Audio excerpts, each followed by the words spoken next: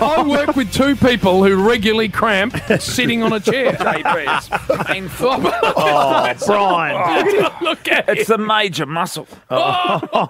The glute. What have you done? Is it true that cramp, you, Bill. is it true you've been power walking with little weights in your hands? I don't go with just weights, real but I do power walk walking. comprehensive. Look at Brian. What's happened, BT?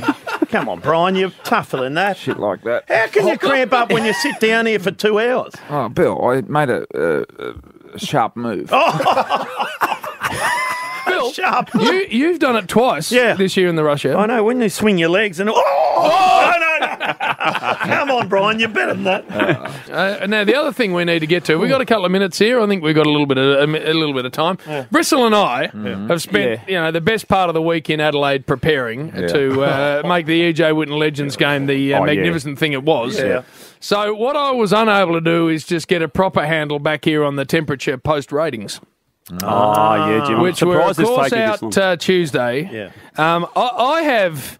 I, I don't think this is my fifteenth. Twentieth, I don't know how many years I've been doing the uh, Triple M footy thing. You've been here a Long while. Jim, but we've been here longer. the most comprehensive 10 plus obliteration of all other stations I've ever seen in ratings history. 10 plus, by the way, is every bastard listening. Hutchie, there are no demographics attached to this.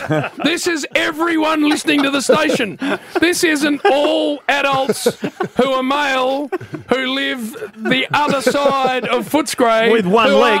aged between 23 and 27 who only have AM radio. No, this isn't that style of business. We're not picking numbers out like that. This is every bastard. 10 plus is everyone listening. Friday night, Saturday, Saturday night, Sunday, all people, all winning, Triple M, everyone else lay your guns down. We're the number one station. That's what happened on Tuesday. Ah, well Right, done. so take that as a given. Well said. Take that as a given. That's better than your Scarl Extras car thing, So- with, the, with the Ferrari. On the back of an undeniable scenario that I've just given you, Yeah. surely that was reflected in the uh, print media, Oh, who are very quick to point out the tiny little demographic that might have a win somewhere across the weekend in May. So, so that would have been reflected comprehensively, of course, I this saw, it in, week. I saw it in the paper, Jim. It was the very last paragraph of pardon? a story about something else. The last the last paragraph. paragraph. Yeah. Fair I did see it, though. Yeah, Scotty. I wear which that is as a start. I wear that as a badge of honour. Yeah, no, you do. You always have. I wear that as a badge of honour. The fact that they're not prepared to acknowledge the pasting everyone else received, I wear as a complete and utter badge of honour. they, they've been writing us uh, our death for a long time, Jim. But uh, please. Why does Scotty Gallen do that? We just know. get stronger. In, the, in the face of the death riding, we just get stronger.